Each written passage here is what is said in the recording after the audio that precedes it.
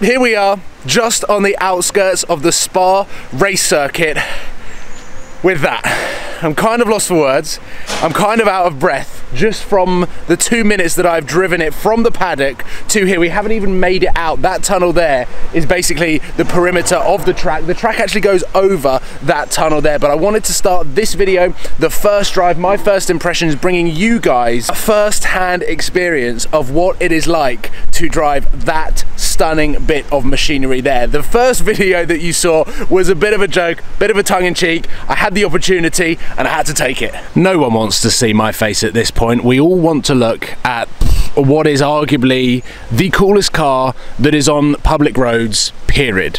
The way that this car has been designed with the aero, these huge sculpted vents all the way through the car, those twin exhaust exit pipes, that carbon fiber engine, everything to do with this car when I saw it launched in 2015 at the Detroit Motor Show blew my mind every time I see this car, whether it be at a motor show, whether it be online, or whether it be standing right in front of me, it still continues and probably will continue to blow my mind. And I'm gonna be completely honest with you, I'm gonna level with you, I'm not gonna talk about many of the performance stats or figures or anything else that you can obtain from Google in this very moment for the next 10 to 15 minutes as I get behind the wheel for this car on public roads for the first time. I purely want to give you an emotional roller coaster of everything that I'm going to be feeling as I get behind the wheel of this car. It has been three years of waiting from Detroit to get to this point. I've asked Ford on numerous occasions if there is ever an opportunity to drive that car,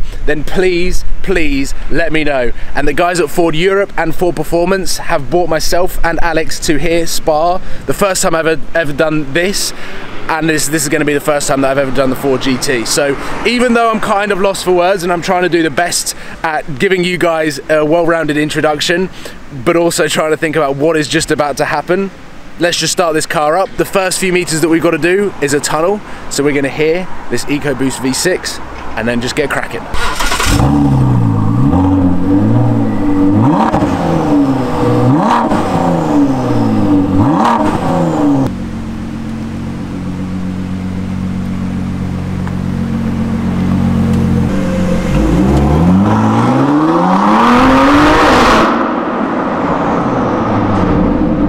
I've got something to uh, tell you. What? You are going to be holding this camera the entire time because we cannot put a GoPro on the front windscreen. Ford have gone to such extreme weight savings that they've gone for an iPhone-esque glass material, grey Gorilla. Gorilla. Yeah, Gorilla Glass. Is Yeah. that what it's called? Yeah. Gorilla Gorilla Glass. This is quite a tongue twister. Meaning that it is very very strong, but it's very thin. So whilst GoPros are very easy to get on, mm, sometimes they crack when you take them off. Alex, would you like to do the honours? We've got a wide angle on the GoPro, and this is all going to be handheld. So I think Alex, to uh, give your arm the best possible. I think I need to brace myself. Yeah, but also just just I think move the GoPro around a little bit. Let's have a Yeah. f- let's have a fluid drive for this uh, incredible opportunity. So we start in drive. Obviously, um, oh, we're in sport. Ooh. Let's put it in normal now. Everything to do with the Ford GT road car is function. So there are no noise differences between normal and sport. Literally, oh, it's just the throttle response that picks up. So I'm going to probably have to talk quite loud because the first thing that I've picked up on is how loud the noise cabin is. Yes. how no how loud the cabin is. And i think that ford are setting the bar in terms of unrefined raw supercars which is what they were 10 years ago. And now when i had my lamborghini even with an aftermarket exhaust system it still felt quiet in the cabin with the windows up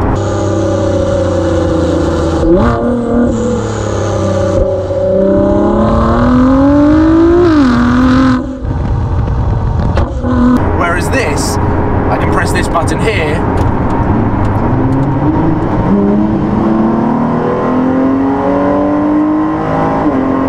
That is so loud! oh my god. Oh!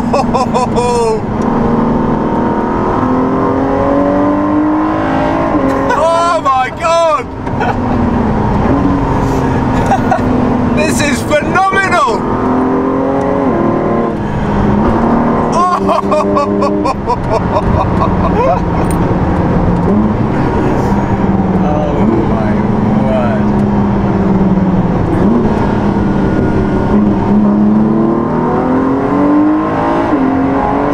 word. and this is exactly why I said at the beginning of the video that I never wanted to try and get caught up on performance, statistics, and the information that fundamentally you can find on most of the other YouTube videos about this car, or even on Google. Like everything is so accessible, but the, the feeling of being handed the keys to such a special car on such a special weekend and just having complete free reign over what we are able to do with it. And okay,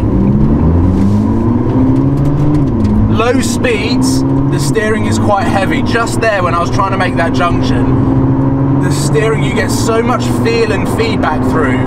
And seeing as the last car that I drove quite a lot was obviously my C63, driving it here, the steering on that is so light and you really don't get that much feel from it, even in Sport Plus in its hardest setting. This is so much more weighted, it's just heavier, which is what I love. I get this amazing feel on the steering wheel. Alcantara, all around actually, we've got LED shift lights up here. A lot of the buttons are centered around the steering wheel because remember, this Ford GT started life as a race car. There's something incredibly special about this car. And obviously, it comes down to the racing pedigree and history that this car has provided with Ford. But I think that there's something more special with with me and this car because it goes back to my YouTube history as well. And I remember in the lead up to, to reaching 100,000 subscribers on my YouTube channel, and I used to speak to people that were management companies, I used to speak to friends, I used to speak to other YouTubers, and they all said that when you hit 100,000 subscribers on YouTube, you start appearing on the radar of certain companies. Maybe they'll invite you to do different things, maybe they'll invite you for days out. And I didn't really believe that there was that mark, 100,000 subscribers, until I hit 100,000 subscribers, and literally within two weeks, I got invited to Detroit by Ford Europe to attend the Detroit Motor Show. Right at the end, they unveiled to the world the Ford GT, and I was there for that, and it was an incredibly special moment to be a part of that Ford history, with Ford being invited there as a guest of Ford. And since then, Ford were the first company that ever reached out to me to invite me to Detroit. And since then, I've had a long and enjoyable working relationship with Ford. I've done some amazing things with Ford. With that story being said, to now be in the driver's seat of a Ford GT, and this is there's no there's no one else here. It's just us two, and I just I just want to thank Ford. Yeah. like because I don't really know what else to say. I'm doing 29 miles an hour in a 2017 Ford GT, and I don't care. But we do need to find some more country roads. Okay.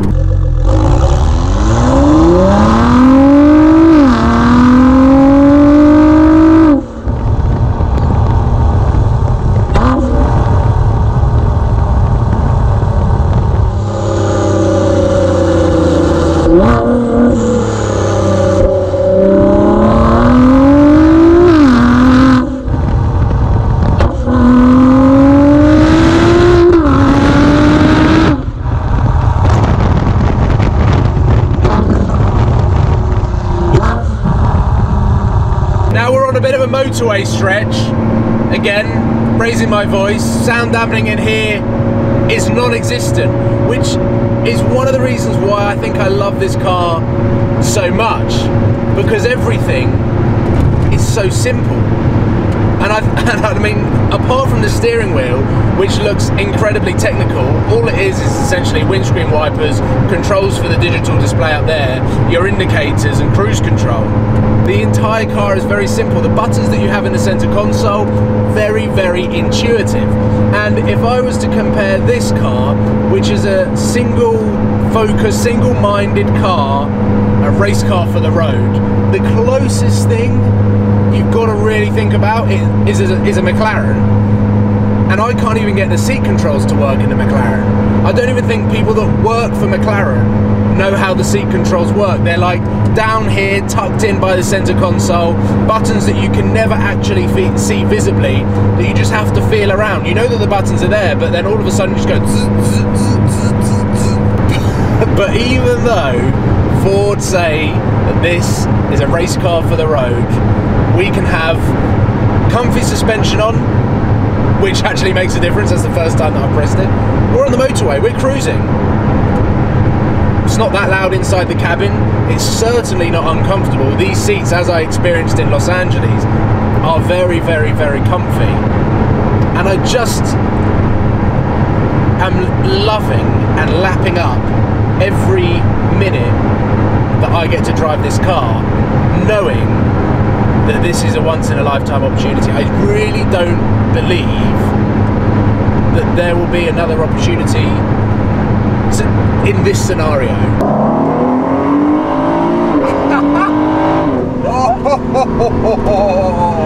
you want to do the brake test now? Yeah, yeah.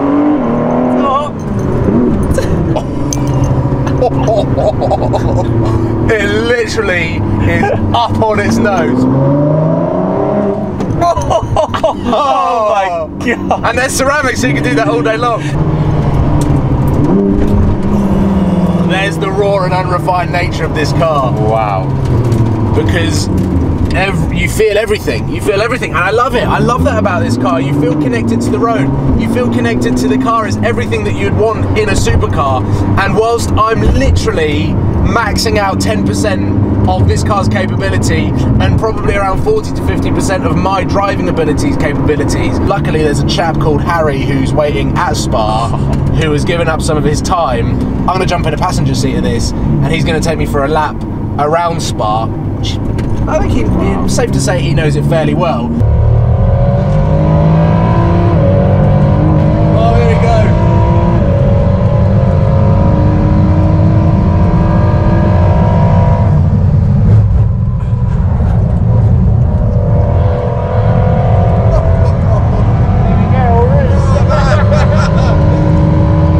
I feel like my life's complete.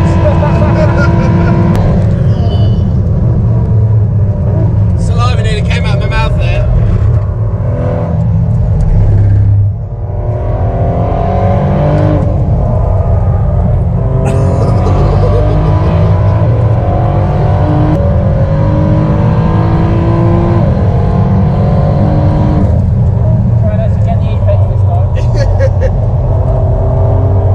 Oh, mate. This is just stupid. What?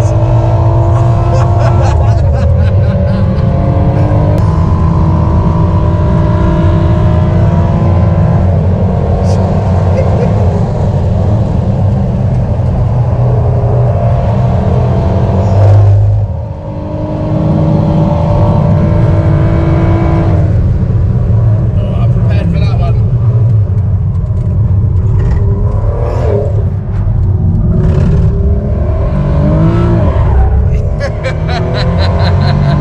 I'm slowly coming to terms with what is going on today. Myself and Alex have just had the most ridiculous day with that car behind, which is going to drive past us very shortly.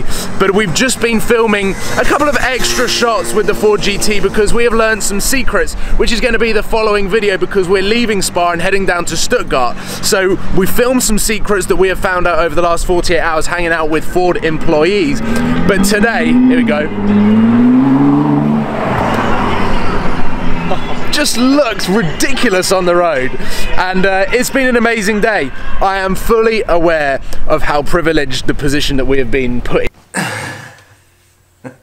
Possibly one of the worst timings of the battery to die but we did film a lot. It's rare that my dslr battery dies but it died on the worst bit, but I feel like this video needed a final ending, a send off that it deserved. I would just like to thank Ford for this incredible weekend because it will go down as one of the best memories that I've had since starting my YouTube channel, as Detroit was, and it will always be just that first experience with being invited somewhere to do something really cool. And that was to watch the Ford GT get launched, and now I'm in Spa, wristbands at the ready, ready for the six hours of Spa World Endurance Championship, cheering the Ford Performance team on. I need to jump in my car and head over to the track now because it's uh, it's a beautiful day. There's going to be a lot of people there. The atmosphere is going to be crazy. I cannot wait to experience my first race there. So. Uh, that is it ladies and gentlemen. Thank you so much for watching. Please give this video a thumbs up and subscribe to supercars of london if you haven't already. And make sure that if you are subscribed to click that notification bell because in a couple of days time my C63 well tomorrow we go to Stuttgart and I get my car tuned to I believe what is going to be over 600 brake horsepower. So yeah safe to say there's going to be some pretty crazy content of that coming very soon. Thank you for watching. I'll see you soon guys. Take care. Goodbye